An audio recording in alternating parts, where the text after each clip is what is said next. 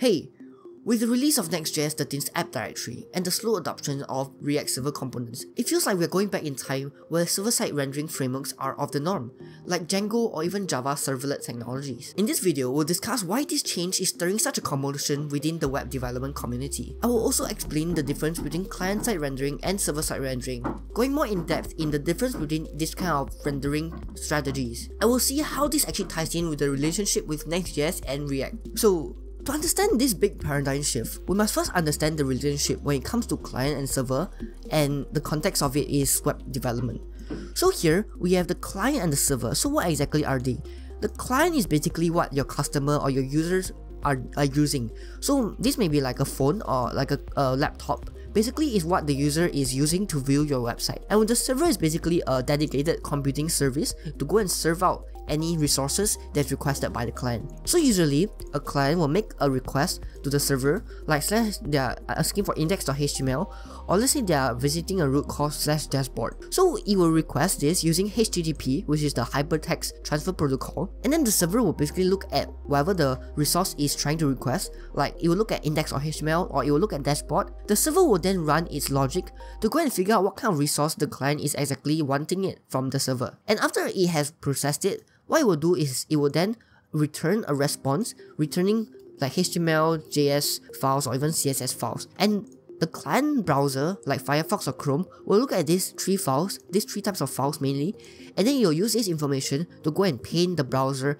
and paint the website for you. So that's the difference between a client and server in the context of web development. In client-side rendering, so we're now comparing server-side and client-side rendering. In client-side rendering, the initial HTML content, so whatever the server returns, this HTML file, like HTML, like index or HTML, the initial HTML content is very minimal and the majority of rendering and interaction logic is actually handled on the client side meaning the user web browser is actually doing a lot of heavy lifting in order to paint the browser and paint the web however the developer wants it to look like. So when a user visits a CSR powered website, the browser downloads a minimal HTML file and a bundle of JavaScript code. The JavaScript code is responsible for fetching the data and rendering the user interface in the browser. Here's a process of how uh, the workflow is like in CSR. So the user requests a page from the server, and then the server re responds with a barebone HTML file that includes a reference to the JavaScript bundle. So in this HTML file, there may be a script tag that references like a bundle.js file. And within the bundle.js file, the browser will go and try to download whatever JavaScript that it needs. The JavaScript code will then run in the browser and it will fetch all the required data from an external API or from the server. And then once the data has been fetched, the React a library will then render the component, update the DOM accordingly. The user can then interact with the website and any further updates or page transitions are handled by JavaScript in the browser. Client-side rendering is great for building dynamic and interactive web applications because it allows for very fast initial page loads since the server only needs to send back a very minimum HTML file. However, it has some drawbacks such as slower time to content. Since the initial rendering happens in the browser, it requires a lot of work just to go and fetch the data and then uh, display it. And also, it will have very poor search engine optimization because search engine crawlers like Google will not be able to see the actual HTML content that is being returned for the client. Now we talk about server-side rendering, right? In server-side rendering, the server is responsible for rendering the React components and returning a fully popular HTML page in the browser. The server will execute the React code and generate the HTML content dynamically on the server itself. So the difference is that on client-side rendering, the rendering happens on the client, whereas for server-side rendering, the server does the majority of the work. So the server will create the HTML content and then it will send back a fully populated HTML document. The process works like this. The user will request a page from the server, the server executes the code to generate the complete HTML content, it will then send a fully populated HTML page to the browser. The browser will receive the HTML page and then it can directly start rendering it immediately without the need for additional JavaScript to execute. Then the user can see the fully rendered page and interact with it right away. Server-side rendering is advantageous for several reasons. It provides better initial load times, improves search optimization, as search engine crawlers like Google are able to index the fully rendered HTML content, and it will give enhanced accessibility since the content is available even without JavaScript rendering on the browser. So React is a popular JavaScript library that builds user interfaces. However, Next.js is a framework built on top of React that adds additional features and optimizations like server-side rendering. Next.js being a React, a meta framework, right? Because it builds on top of React, it will actually support both client-side rendering and server-side rendering, and it offers a very easy way to configure and switch between these two different rendering modes, depending on our application's needs. And allows us to choose between client-side rendering and server-side rendering, or even hybrid rendering, where specific pages can actually be rendered on the server while others are on the client. And as web developers, understanding these concepts will help you choose the appropriate rendering strategies based on the requirements of your applications, such as performance, SEO, and even user experience. All along, Next.js has always prioritized client-side rendering. All pages and components are actually rendered on the client side by default, meaning that by default, Next.js does not have any additional features on top of normal React. However, in the past few weeks, the team working on React has actually introduced the concept of React Server Components, and React itself has even added the support for server-side rendering. So with this additional of RSC, React Server Components, Next.js has also shifted its paradigm. Now instead of being client-side rendered by default, all Next.js pages and components are now server-side rendered, which means that all pages and components offer no interactivity by default. So here I have a Next.js 13 project running, and we can see that Right now, I have just a blank page. So Next.js 13 actually offers two strategies for routing right now. So right now, we have the first one is the app directory, and the second one is the pages directory. So the pages directory is the pre-version 13, meaning that this is still the old version pages.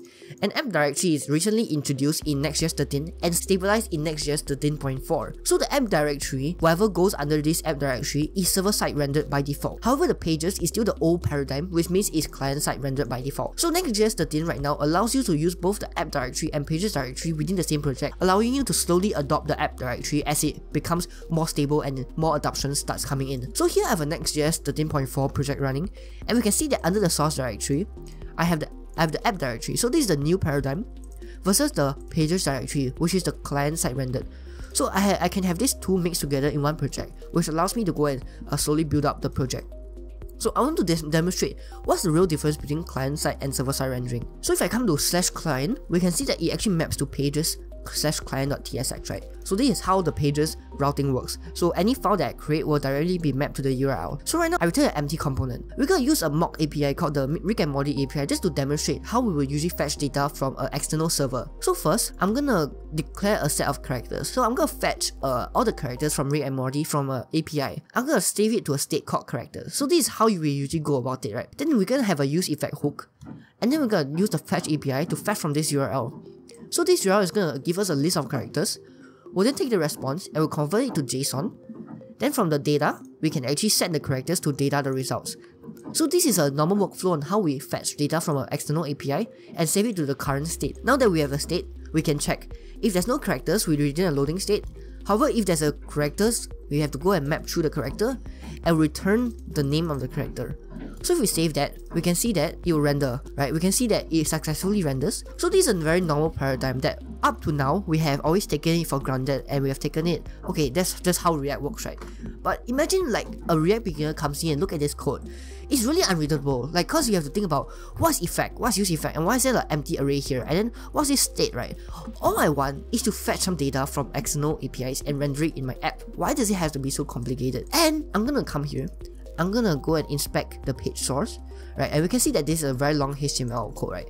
And what I'm gonna do is gonna copy. So there's this tool online called Unminify, will basically take any uh, minified uh, HTML or JavaScript code and convert it to an unminified version. So the reason why code is minified by default because we want to save white space characters so that we can save on space such that the transfer of data will be more efficient because we need to transfer less data since there's no white space and there's not much uh, other characters. So if you unminify it, we can see that. So it's a normal HTML page and basically what we have is a head and all the meta text. We can see that all this script text, right? This is exactly the JS bundles that we are talking about here. So in client-side rendering, whenever the server sends back, right, we can see that the index.html or whatever HTML file references a lot of JavaScript files. And these JavaScript files are actually the ones that's responsible for uh, fetching the data and then appending it to the DOM nodes manually. So we can see that under the body, there is no data like where is where's all my HTML? Where's all my adjudicator rig? This text does not show up in the HTML file returned by the server. So you see when I request slash client and we request for this component, right? The HTML that it returns has nothing in it. do you see there's nothing, there's no information within the HTML file. All the HTML is actually being rendered and hydrated by this JavaScript. So hydration is basically the process of JavaScript taking external data or taking data from states and then rendering through the React rendering process like appending DOM nodes manually. So that's the, the hydration process. And then basically what it does is, if you come back to the client and we'll come down to inspector, we can see that under here we have a div called id next and that's all there is, right? Under ID of next, and here inside it, we can see all our HTML DOM nodes. So what it does is actually, it will look for the, the DOM node, like the root node called underscore underscore next and then it will append all the start all the data after it has been fed from the API. So that's client-side rendering. So let's look at server-side rendering. So under the app directory, I have a page.tsx. So this maps to the slash component, right? I have a slash component. So right now it doesn't return me anything. We're gonna try to do the same thing, but look at what we're gonna do. So first thing we notice is that this function is asynchronous. In client, right, this function is a normal function. But why is this async function? Because this function only runs once in the server. So remember what server-side rendering is. When we make a request to the server, it will run the code on the server, rendering out the full HTML project before returning it. What we're gonna do is fetch from the same API, but note that this time it's not wrapped in a use effect. We can directly call it on top or top level await within the function. And then after we do the await, we can convey to JSON so they start in data and then we can look through the data to go and return this character ID. If I go and save this and come back to next app, we can see that we have the same uh, app, we have the same data being re written here. However, let's look at the page source this time. Let us unminify it and look what happens. So we have the same H, H but look at how there's no more JavaScript bundle being exported here. Versus just now, there was a lot of JavaScript bundle needing to be referenced just to render that page. But right now, the HTML file returned has directly all the, the, the H1s that I'm trying to declare. So that is the exact difference between client-side rendering and server-side rendering. The server has already done all the work, right? If I come down here, we can see that it has run it on this server. So it runs the code here, everything the code here wants, and then it formulates the HTML before sending it back to the browser. The browser can then look at the HTML and render it directly without needing to fetch additional JavaScript code. And to demonstrate it once more, I'm gonna try to do console.log. If I press this, guess what happens? Look, it gets rendered on the server. So right now I'm running the terminal and if I refresh, you can see that it's being rendered on the server. This code is being run once, is being is fetching the data. If I come down to the console within the front page, we can see that we can see that there is no console.logs right? Because whatever is sent back, the HTML is a, is a pure HTML page. Let's compare that to, let's say I go back to the client, and let's say I console.log, console.log, render on client. If I save this page, we can see that this is being console.log, this is being rendered on the client, right? So therefore the console.log happens in the client versus the server component where everything is handled on the server. So that's the real difference between server-side rendering and client-side rendering. Another thing is that, let's say we want to use use state in server components, right? So I have this form element. So let's say I have an input and I want to basically set search. I want to search for a character. I want to search for a character. We can use use state and then we can bind the value to the search variable and then on change, right? We'll take the e and we can set search to the e.target.value. So this is how we usually manage a local state within a component. But let's see if we ser serve this. We can see there's an error. It says that use state only works in client components. We have to add the use client directory at the top of the file to use it. Meaning, because everything here is run on the server, it doesn't understand what is state. All it's trying to do is return a plain HTML file. So it has no idea what state is. In order to use state within a, a server-side component, what we have to do is we have to extract this out. So we have to delete the state we have to extract this out into a separate component. So here we have a form component. If I go into this form, right, we can see that we have to declare a use client directory on top of the file, and then we can use state here, right? And then we can then render it out in this form component. And then now here we can have the state. Within the form, we have the same thing. We have the input, we bind it to the state, and then we are just rendering out. You are searching for whatever input here you can say that it reflects here in terms of the state. So this is fine, right? But then we cannot basically have mixed state and interactivity within server-side components. And that's actually a good thing because the beauty of it is that it forces us to break out our components into very small and more manageable pieces. Instead of nesting everything and the state, we actually separate out whatever we want to be pre-rendered on the server versus whatever interactivity we need. Interactive component will have to be extracted out to a separate component using the client directive and then we can use all our normal React state. However, if you're fetching posts, fetching listings, and anything that we want to run, be run on the server using this server component, We can then map it out like this and import any interactive components that we want. It forces better practices in terms of breaking out components, and this is a really helpful thing, not in, term, in terms of developer experience and also user experience, because user will get much faster page loads and much better search engine optimization. So I hope the explanation has helped you better understand client-side rendering versus server-side rendering. If you found this video helpful, leaving a like and subscribing to the channel will help me a lot. If you want to see how to better handle state in React, you can view this video up here. Thank you for watching.